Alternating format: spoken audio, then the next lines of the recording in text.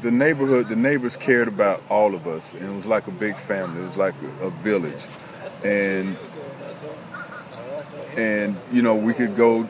We played in the in the neighbors' yards, and they didn't mind because we weren't tearing up anything, and you know it was just a family. It was a big community, a big family, and and uh, I wanted my kids to have that same type of uh, experience. It's a special neighborhood. Moving away and going to college, you know, nobody really knew me.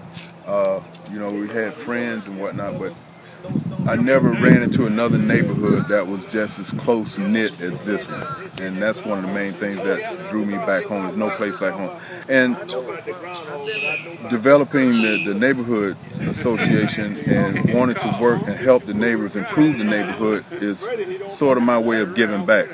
You know, giving back to the neighborhood for what they taught me.